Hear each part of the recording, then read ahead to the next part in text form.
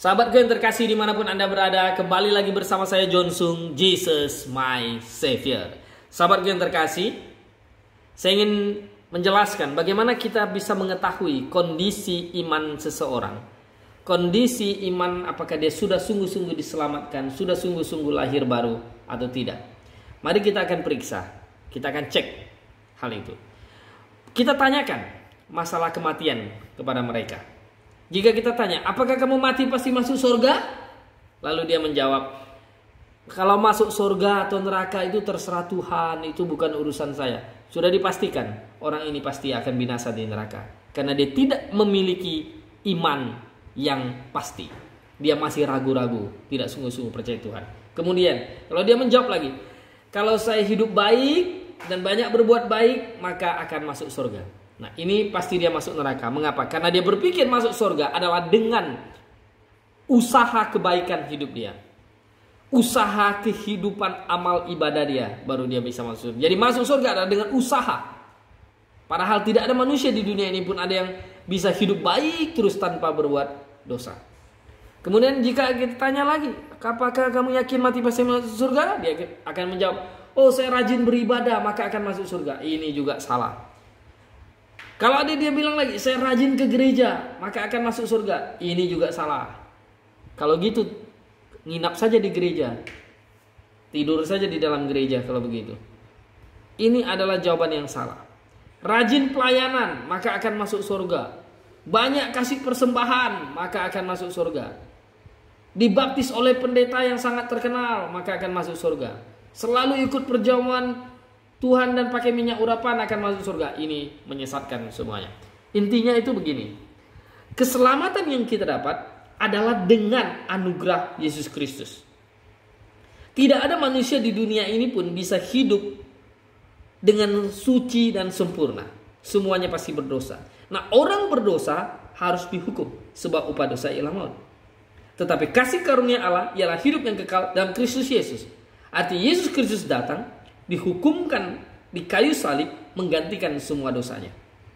Ketika dia mengaku, saya orang berdosa Tuhan, saya minta ampun, saya percaya kepadamu sungguh-sungguh, maka dia diselamatkan. Maka dia dimeteraikan oleh Roh Kudus. Roh Kudus masuk di dalam hatinya dan diberi hati yang kudus dan posisi yang kudus sebagai anak anak Allah. Yohanes 1 ayat 12. Nah itulah yang membuat dia masuk surga. Kalau dia berpikir dia masuk surga, dia rajin ke gereja. Dia rajin pelayanan. Banyak kasih persembahan. Maka intinya adalah masuk surga itu adalah atas usaha dia, usaha manusia.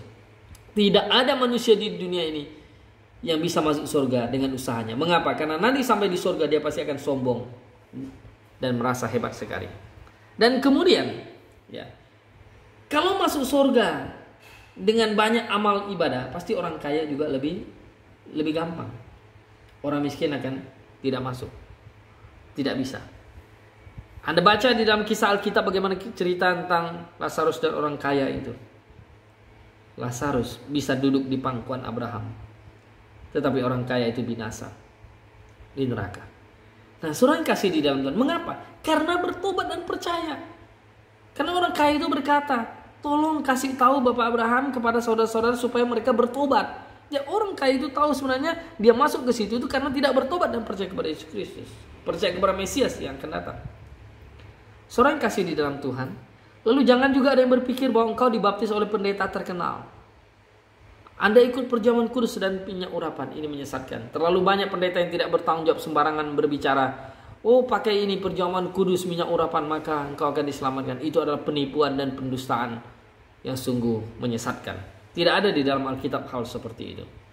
Nah, yang benar kemantapan iman yang Alkitabiah adalah kalau ditanya, apakah engkau yakin mati pasti masuk surga? Maka engkau akan menjawab, ya, saya yakin.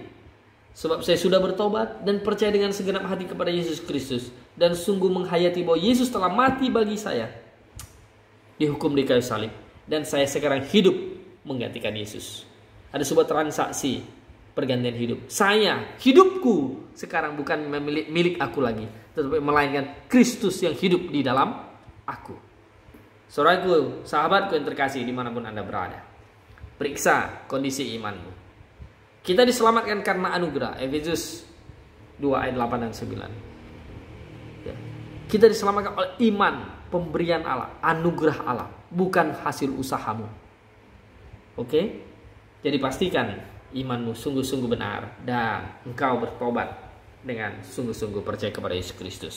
Sahabat yang terkasih, bersama saya Johnson Maranatha.